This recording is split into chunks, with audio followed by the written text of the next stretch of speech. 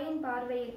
காட்டு அரசி சீபா குழந்தைகளிடம் பேரன்பு வைத்திருந்தால் எந்த குழந்தை அழகாக இருக்கிறதோ அந்த அதற்கு பரிசு வழங்க நினைத்தாள் அவள்.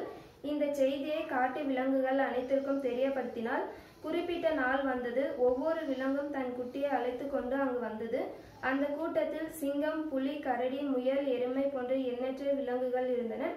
குரங்கு ஒன்றும் தன் குட்டியை தூக்கி கொண்டு அங்கு வந்தது. ஒவ்வொரு விலங்கின் குட்டியாக ஒ- விலங்கின் குட்டியாக பார்த்து கொண்டே வந்தாள் அரசி. குரங்கு குட்டியை பார்த்தாவள் அழகான குழந்தை குழந்தைகள குழந் குழந்தைக்கான போட்டி இது. நீயோ அவலட்சணமாக இருக்கிறாய். போட்டியில் கலந்து கொள்ளும் தகுதியே உன்- உனக்கு கிடையாது. இதற்காக வீணாக இங்கு வந்தாய்.